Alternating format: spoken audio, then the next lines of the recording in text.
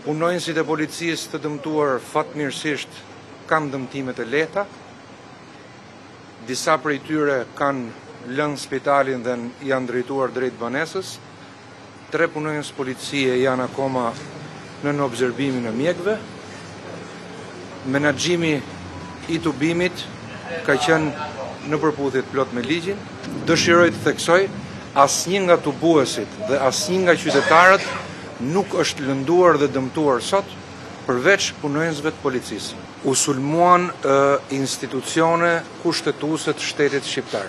Sikurse ju e patë, një nga një janë sulmuar pothuajse të gjitha institucionet e shtetit shqiptar, përfshirë këtu dhe Partinë Socialiste. Ky sulm i detyruar ka bërë që policia e shtetit të përgjigjet dhe të zmbrapsi turmën duke përdorur dhe gazin lotsjellës.